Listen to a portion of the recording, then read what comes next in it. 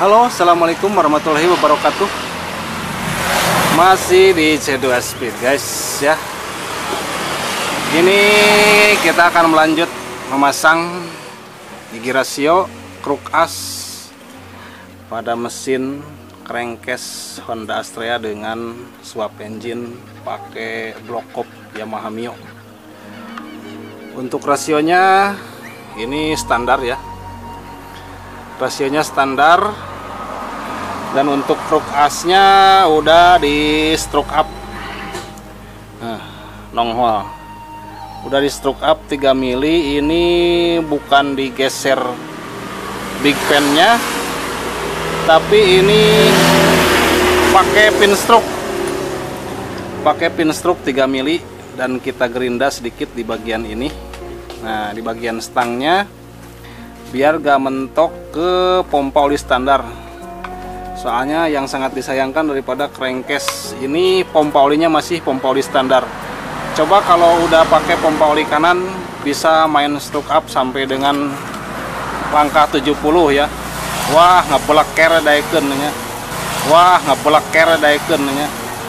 Nu nyelah nage caroplok senal nak namun make stroke 70 ayo make stroke sakit mah tanggung sih tuh nongtotnya seetik tuh. Nah nongolnya dikit. Cuma 3 mili ini di pen stroke. Kuat gak kalau di pen stroke? Kuat lah tadi totolan kulasan biar nggak merilit. Hmm.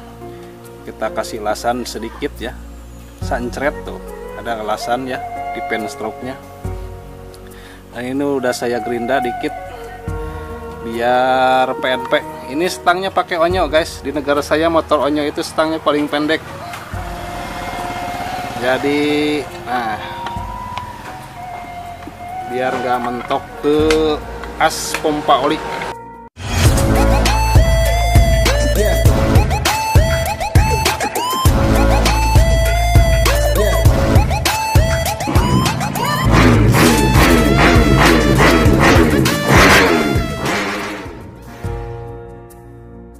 Nah, jadi bagian ini udah kita papas sedikit ya awalnya.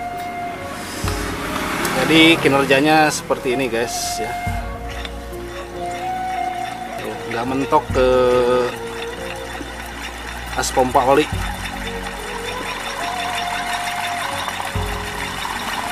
Oke. Soalnya ini udah dicolak dikit stang pistonnya. Jadi nggak mentok ke as as pompa oli. Hmm. ya. Apa udah cukup jelas guys? Oh ya kita pasangkan guys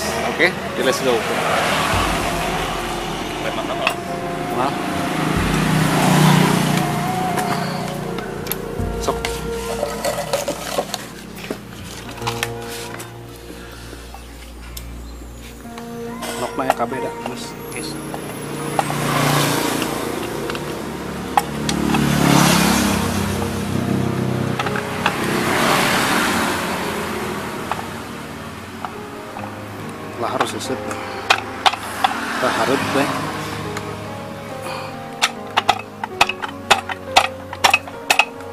sip. Oke dan bagian crankcase semua sudah terpasang. Dan ini piston yang akan kita gunakan. Diameternya 66 pinnya 15 sedangkan pin stang piston 13 kita bikin bos seperti ini seperti ini.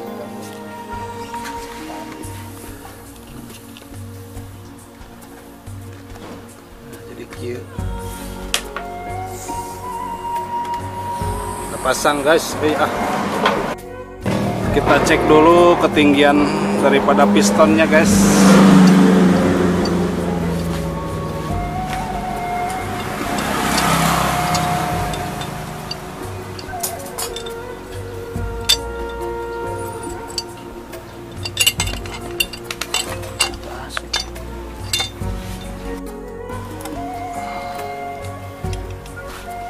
Nelek, lek, calokan lek.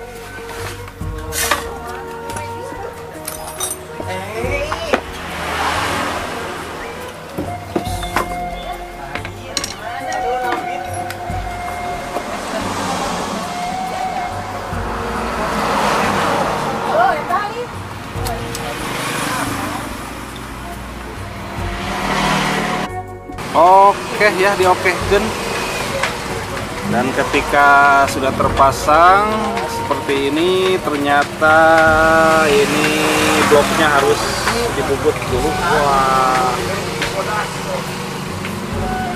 Ini bubutnya banyak nih. Ya. Ini tadinya si pistonnya bekas ya bubutnya terlalu banyak tadinya. Nanti kita akan coba atasi. Ya. Oke